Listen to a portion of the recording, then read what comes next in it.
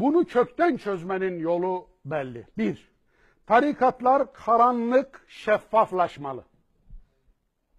Yahu herkesten hesap soran bir kurum var. Bura vakıf değil mi? Vakıflar Genel Müdürlüğü diye bir kurum var.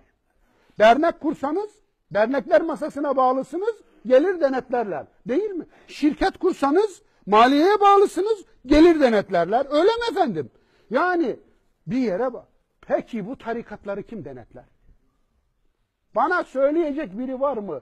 Bu memlekette, bu memlekette 3 kuruş, 3 bin lira, 30 bin lira sermayeli bir şirketi dahi denetliyorsunuz da bilmem kaç milyar dolara hükmeden bu tarikatları kim denetliyor?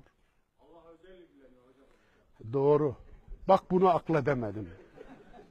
İki, şeyhler ve yakınları mal beyanında bulunmalı.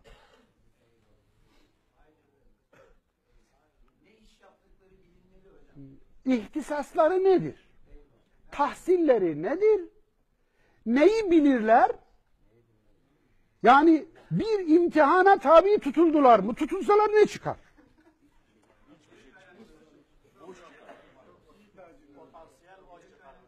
Üç, müritlerinin sırtından padişahlık ve sultanlık yapmaları engellenmeli.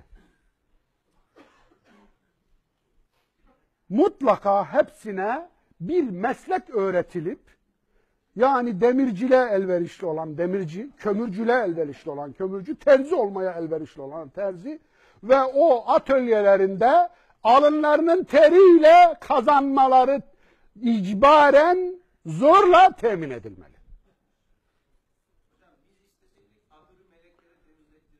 Dört, öyle diyor. Doğru, doğru. Tarlayı diyor, şeylere, cinlere yoldururdum diyor. Öyle. Dört, holdingleşen tarikatlar maliye tarafından denetim altına alınmalı. Karanlık servetler aydınlatılmalı. Beş, şeyhliğe bir tahsil ve ilim standardı getirilmeli. Sakalı uzatıp posta oturan efendi hazretleri olamamalı. Efendiler oldukça köleler ve sürüler devam edecek. Altı, saltanat gibi şeyhlik babadan oğula, babadan kardeşe, babadan damada ve toruna geçmemeli. Tarikat saltanatı saltanatların en berbatıdır. Çözüm önerilerim bunlar.